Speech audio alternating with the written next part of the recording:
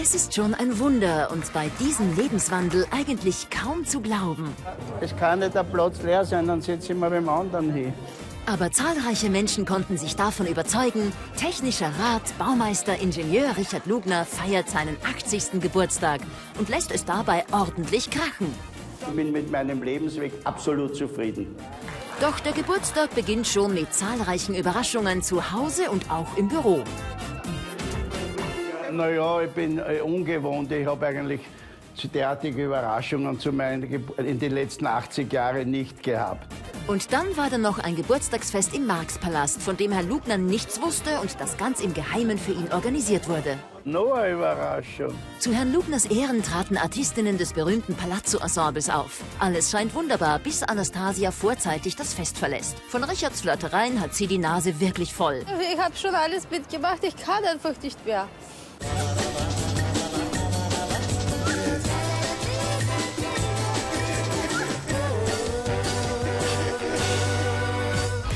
Herr Lugner hat sich für sein Geburtstagsfest in Schale geworfen. Das Opernball-Outfit ist gerade gut genug für die Feierlichkeit. Die Stretch-Limousine samt Chauffeur tut den Rest. Richie weiß wohl von der Party aber nicht, was ihn genau erwartet. Und das geht schon den ganzen Tag so. Ich habe heute den ganzen Tag nur Überraschungen. Zwei bildhübsche Samba-Tänzerinnen waren plötzlich in meinem Büro und ich wusste nicht, wo die herkommen und was die wollen. Jetzt war es Überraschung die Michaela Schäfer, da war mir natürlich klar, dass die ungern was ein Gewand am Körper trägt und das hat sich auch bewahrheitet. Wir fahren jetzt ins Radisson zur nächsten Überraschung, Herr Baumeister. Was fahren wir jetzt? Ins Radisson zur nächsten Überraschung. Ja, noch eine Überraschung. Heute gibt's nur Überraschungen. Ah, ist aber schlimm jetzt vor lauter Überraschungen. Hoffentlich ist das nicht wieder ein Knockerte. Die, Die Leute Katze haben sich was mir die Augen lassen. aus. Die, die Leute um sie herum haben sich was einfallen lassen zu ihren 60er. Ja.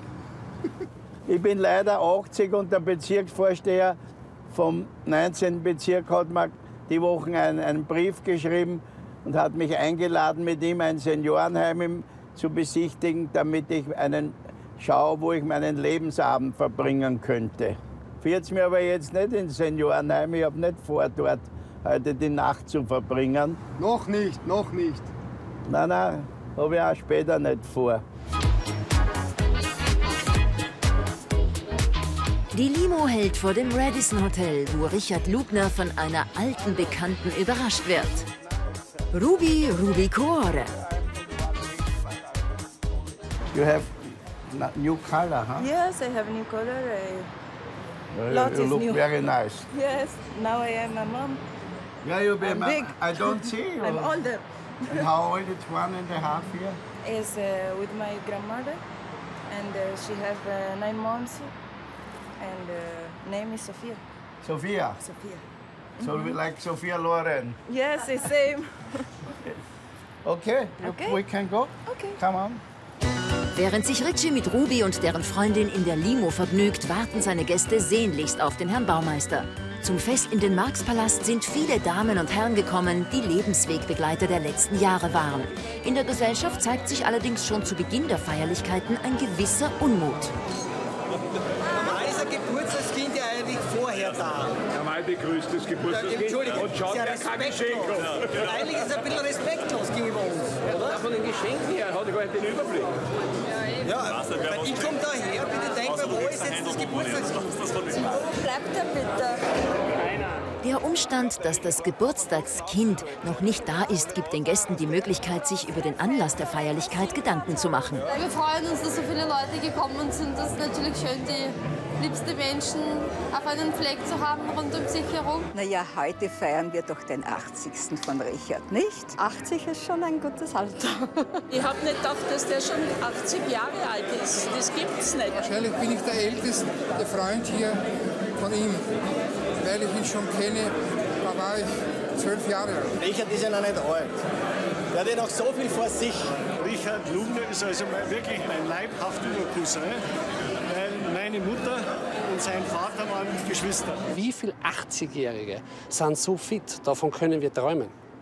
Das ist ein Vorbild. Richard ist so für mich, ich habe mir immer einen älteren Bruder gewünscht. Er hat sich sein Kind in sich so bewahrt. Er ist ein Original. Er, ist eigentlich, er passt in keine Schublade hinein. Und er ist ein katholisches Original, weil er sich auch als frommer Sohn der Kirche weiß. Der ist ein Phänomen irgendwie mit dieser Vitalität. Also gibt es selten Menschen. Dann hat er immer so ein, so ein äh, schelmisches Lächeln, ja? so wie von einem kleinen Buben, der jetzt irgendwas gemacht hat, was ganz verboten ist. Er ist ein ehrlicher Mensch. Besondere Gestaltungen seiner Lebensformen können nicht alle gut geheißen werden. Hin und wieder fliegen die Fetzen, hin und wieder ist es harmonisch. In den Frauenangelegenheiten verstehen wir uns nicht genau so. Das würde ich ein bisschen anders handhaben als er. Manchmal kommt mir vor, als würden wir 20 Jahre miteinander leben. Manchmal kommt es so vor, als würden wir uns erst kennengelernt haben. Aber ich bin ja zu libertär und tue mir da leichter. Richard und Katze, ähm, ich bin für Mause. Das wird mir sicher die Christina bestätigen. Ich habe gesagt, was soll ich mitnehmen? Was hat halbwegs Stil? Und sie sagt zu mir wortwörtlich am besten gar nichts. Natürlich habe ich ihm was mitgebracht. Es ist nichts Aufregendes, es ist eine Flasche Champagner und ein sehr schönes Billet. Es ist etwas, wo er sich schmücken kann damit. Ein schwarzes Ferrari Polo. Naja, der wird das neue Technik, Technik-Ding von mir bekommen, ähm, das iPad. Eine besonders schöne Krawatte. Und dann will ich ihm ein Buch schenken. Und ein Ferrari Parfum. Da ist alles Palette. Mitgebracht haben die meisten Gäste etwas, auch wenn die Wahl der Geschenke nicht immer ganz nachvollziehbar ist. Was hast du ihm geschenkt von die Buffre? Äh, Liebestropfen Kann man immer brauchen, oder? Ich habe eine Rotweinflasche geschenkt. Das kann man auch brauchen. Und ich habe Ananas geschenkt. Und ihr braucht das ABC der Genüsse, also dann kann man ja alles Schön haben, oder? So ein Ananas. Frag mich nicht. Während die anderen warten, unterhält sich der Geburtstagsbaumeister königlich mit der marokkanischen Schönheit, die auch noch für die nächsten Tage in Wien verweilt. So maybe we meet us tomorrow, Yes. if you want. Mm, I don't know. Is uh, now I live. Uh, I must ask my secretary if, if I be free, I can, we can have a dinner anyway. Okay, you call me. I call you, I call Okay, you. Yeah, I, I call, Essence Hotel, I call you. Thank you. In die Limousine steigt zur Brünetten, der Blondierten und dem Herrn Baumeister nun auch noch eine echte Blondine zu, Werner Helmut. Hallo. Das Beste kommt zum Schluss. Den schönen Moment mit Ruby und den anderen im Auto lässt er sich nicht entgehen. Und auch Lubner selbst findet natürlich Gefallen an seiner Begleitung. Yeah, the Ruby is very nice and she is dressed. I prefer dressed ladies. Sometimes I like naked ladies, but not always. but I, I, it was, Eine wichtige Person in Richards Leben hat am heutigen Abend noch keiner zu Gesicht bekommen. Mausi. Und das hat seine Gründe, denn Christina wird als Moderatorin durch den heutigen Abend führen. Sie teilt sich die Garderobe mit den Künstlern der Gala. Dieser Event ist natürlich insofern jetzt etwas Besonderes. Es sind jetzt nicht so viele Leute da, es sind 150 Gäste hier. Aber genau die 150 Gäste sind etwas ganz Besonderes. Weil ich habe unlängst moderiert eben im Circus Aquatico. Da waren knapp über 1000 Gäste. Ähm, aber hier sind es tatsächlich, also unsere Ehrengäste, Menschen, Wegbegleiter, Freunde, Geschäftspartner, mit welchen wir permanent zusammenarbeiten und zusammen sind. Und das ist natürlich etwas ganz was Besonderes. Das kann man jetzt damit nicht vergleichen. Und insofern bin ich halt da schon ein bisschen flippig. Der Gala-Festsaal ist fertig, nur darf noch niemand rein, außer Mausi und ihren engsten Vertrauten. Mit denen trinkt sich die Moderatorin Mut an, so gut es halt geht. Wollt ihr mich nicht fragen, wie es mir geht? Ich meine, ihr steht jetzt einfach herum, ohne euch zu interessieren, wie ich da Christine, wie flippig geht's bin. dir vor deinem Na scheiße natürlich. Schlicht und einfach, Josef, ich brauche Haare. Mausi ist nervös. Jetzt kann nur mehr ihr Friseur beruhigend auf sie einwirken. Da bitte jetzt mach was da draus. Ja, ich habe eh extra sogar Öl Eine mitgenommen. Aber nicht so viel, bitte nicht so viel. Nur, nur ein bisschen. Ja. Nur, nur ein Es bisschen. ist nur ein Öl. Nur, na, aus. Na, warte, eins davon noch. So, okay. Soll ich mich... Okay, bin schon wieder weg. Ciao. In der Limousine gibt der sonst so sparsame Werner Helmut einen aus. Geht ja aufs Haus, in dem Fall aufs Auto. On Richard's birthday? yeah. Uh, it's a time uh, it, for Ruby in Vienna we drink. Thank you. Hello? Hello? Und da rollt die Limousine schon vor die Marx-Restauration und die Gesellschaft. Jetzt kann das Fest endlich beginnen. Trotz Lichtgewitter und flankiert von wunderhübschen Damen, so wie wir Baumeister Richard Lugner kennen und er sich am liebsten gibt, so soll heute auch die Feier zu seinem 80. Geburtstag stattfinden. Wäre doch dumm, im hohen Alter den Lebensstil zu ändern. Hallo. Ja, ich bin aber unschuldig. Dein zukünftiger Schwiegersohn kam so spät. Ruby war pünktlich. Also ich vermute mal, dass die Föhnwelle ein bisschen länger gebraucht hat von Helmut. Ich vermute es nur. Helmut, hast du was zu sagen dazu? Zu dir nicht. Gut, nehme ich auch zur Kenntnis. Meine Lieben, wir folgen jetzt ein dem Jubilar, unserem lieben Geburtstagskind. So viele Leute. Dabei hätte sich Herr Lugner noch am Vormittag einen ruhigen Geburtstag vorstellen können. Es war eigentlich ein ganz normaler Arbeitstag. Ich, ich habe heute eine Stunde länger geschlafen und habe statt um 9 Uhr erst um 10 Uhr zum Arbeiten begonnen, war topfit, habe Kaffee getrunken zu Hause, sogar Zeitung gelesen, die Presse, ganz was Hochwertiges. Und jetzt war ich einen Kaffee trinken beim Jakobs und der hat eine Kaffeemaschine. Und während Herr Lugner von seinen spannenden Erlebnissen seines 80. Geburtstags erzählt, nähert sich schon die erste Geburtstagsüberraschung. Und wie könnte es anders sein? Mit Reizen wird nicht gegeizt. Wollt ihr es nicht kosten? Sag ich, kosten Sie es. Frau Siegel, was ist denn los? Wer trat denn das Licht auf?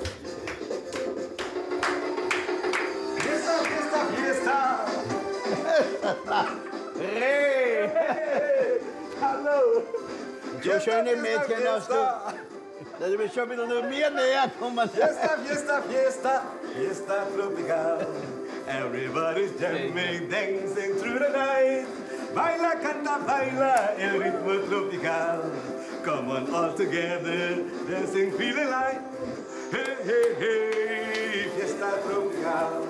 Ha, ha, ha, vamos a bailar. Ich habe Richard Lugner im Mai getroffen und er, er hat mir gesagt, ich habe meinen Geburtstag am 80. Mein 80. Geburtstag irgendwo im Oktober. Und dann haben wir gesagt, wir würden ihm Überraschung mit zwei schönen karibischen Mädchen. Hey, hey, hey, fiesta tropical. Ha, ha, ha, vamos a bailar. Fiesta, fiesta, fiesta, genug. fiesta tropical. Everybody's jamming, dancing through the night. Baila, el ritmo tropical. In die Höhe. Fiesta, fiesta, fiesta, fiesta tropical. So ist das im Leben. Man muss immer jemand eine Freude bringen, dass sie sich freut über diese Überraschung. Und ich, ich glaube, Herr Lückner war ganz zufrieden mit dieser Überraschung. Naja, ich bin äh, ungewohnt. Ich habe eigentlich derartige Überraschungen zu meinen, Geb- in den letzten 80 Jahren nicht gehabt. Zurück beim Fest. Ja, bitte da weiterzukommen. Den Festsaal betritt Herr Lugner natürlich als erstes. Als geschulter Partylöwe will er vor den Gästen noch schnell die Tischordnung kontrollieren und womöglich noch umstellen. Und dazu braucht man beide Hände. Ja, was mache ich jetzt mit meinem Hut? Abgesehen davon ist Herr Lugner über seine Sitznachbarn am Tisch etwas unglücklich und beschließt kurzerhand noch schnell umzusortieren. Haben Sie ja falsch gemacht, sollte der ich in der Mitte sitzen. Ne? Naja, dann drehen wir so.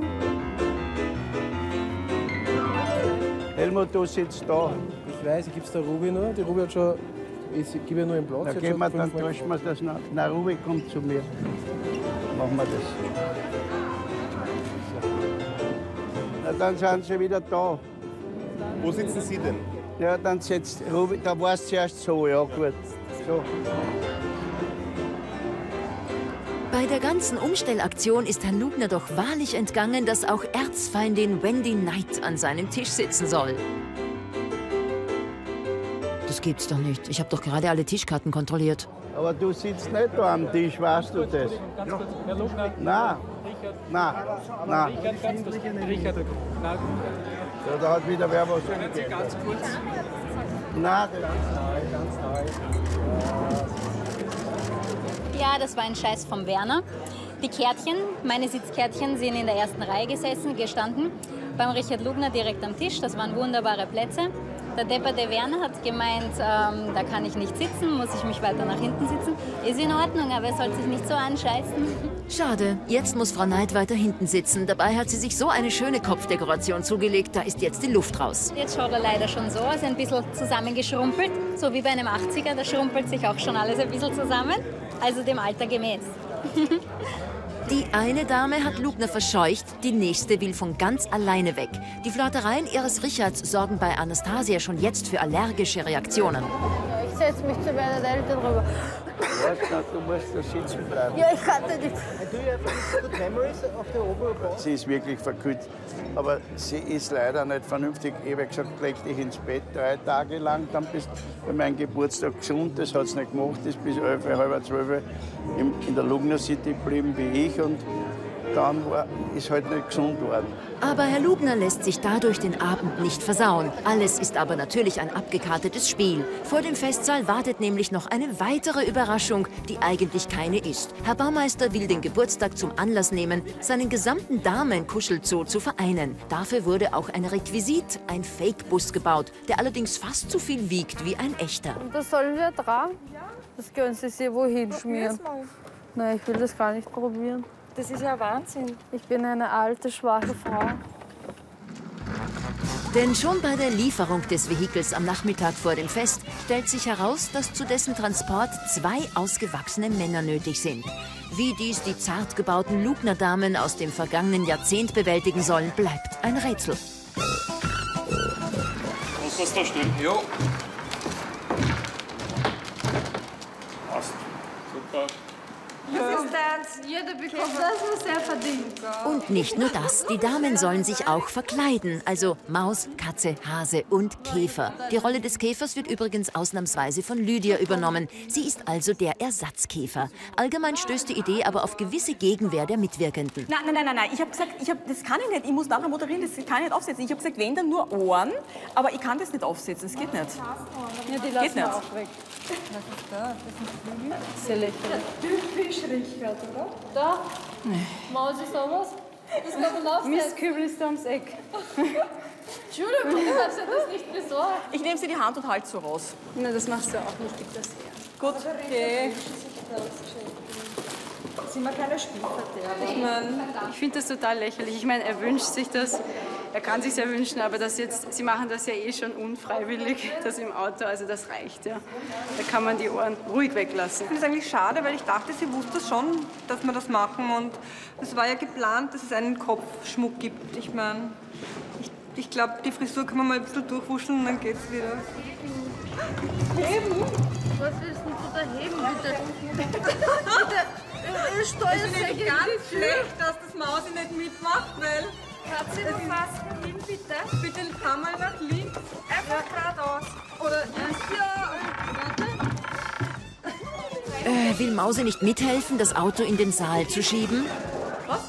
Nein, da kommen wir nicht hin. Wir gehen nur da rein. Mausi fehlt. Mausi. Mausi. Ihr geht nur rein und ich bin die Letzte, ja? Äh, Bettina, also...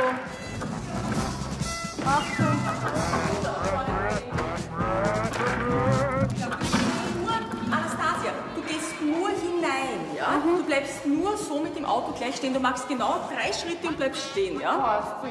Weil mehr geht ja nicht. Du kriegst ja nicht mehr zusammen damit. Nein, Eben. bitte. Ich sicher nichts in der. So Kasperltheater. Macht ja nichts. Genau. Und nun Vorhang auf für den Kuscheltier-Zoo-Bus. Eigentlich war geplant, dass das Holzungeheuer auch wirklich auf der Showbühne platziert wird. Doch dass so viele Leute im Weg sitzen werden, das hat sich Herr Lugner nicht vorstellen können. Damit droht die erste Einlage auf dem Fest ein Desaster zu werden. Ja, warum fahrt ihr nicht her mit dem Auto da? Und gleich bei Lugners 80er. Michaela Schäfer überreicht dem Baumeister zum Geburtstag eine Torte. Und zwar so, wie sie Gott geschaffen hat. Die Torte. Zur Sicherheit muss ich das Katze bei mir haben, dass du mir nichts antun kannst. Ah, jetzt aber einmal. Müßiggar natürlich. Also ein Schäfchen hat eh keine Angst vor Katzen. Und Katzi hat keinen Bock mehr, ihren Richard mit all den hübschen Gästen zu teilen und verlässt vorzeitig das Fest. Ich habe am Anfang an gesagt, wie, bevor ich überhaupt dahergekommen bin, habe ich gesagt, dass ich heute früher gehe.